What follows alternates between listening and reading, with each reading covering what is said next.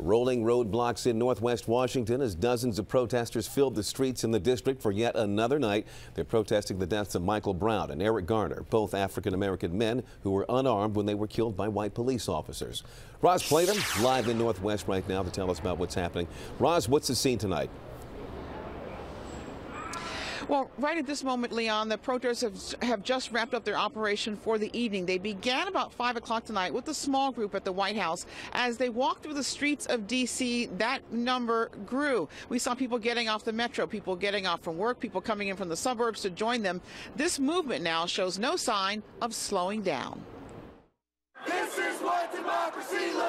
More than 100 protesters took to the streets demanding justice in the name of Eric Garner, the New York man who died in a chokehold at the hands of police. They marched to major intersections, shut them down, backing up traffic and frustrating commuters.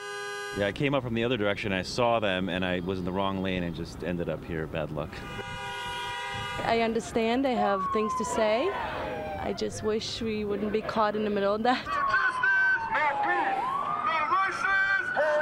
Dozens of D.C. police officers tried to stay a step ahead of the protesters, using rolling barricades to close off streets for safety. Back it up. We'll get you out on the outside of the circle. And they tried to keep rush hour traffic moving.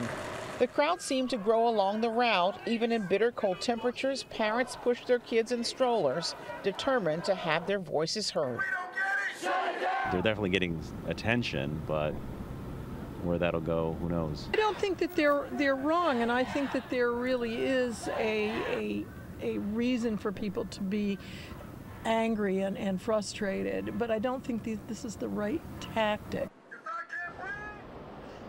Well, according to their social media, this seems to be, these disruptions seem to be the tactic for now. We're live in Chinatown on Roz Plater, ABC 7 News. Thank you, Roz.